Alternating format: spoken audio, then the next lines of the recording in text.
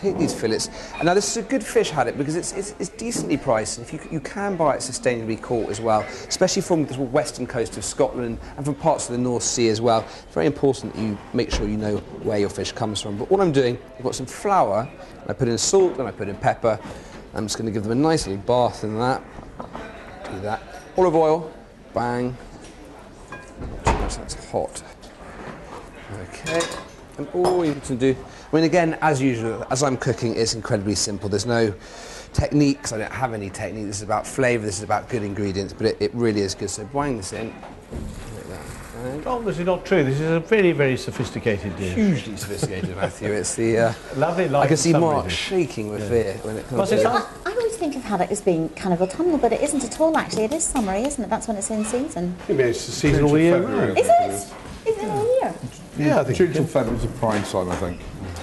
So anyway, it's nice. But I mean, smoked haddock. I mean, I've always loved smoked haddock. Yes. But fresh haddock as well is, is just it's a wonderful fish. So what I'm going to do now is make my dressing. There we go. So all I'm doing, olive oil. This is your average dressing.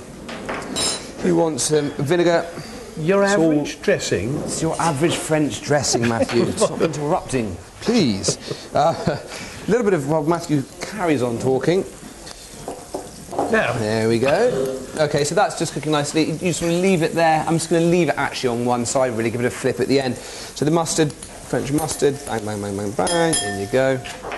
And a little squeeze of lemon just to lift it up because you want to. So that's it. Okay. Tom, I noticed that you're using um, cos lettuce. Yes. Oh, what is the difference between... Uh, this is, a, this is a, not a trick question. What is the difference between cos and romaine? Ah, well, Matthew, they're the same thing.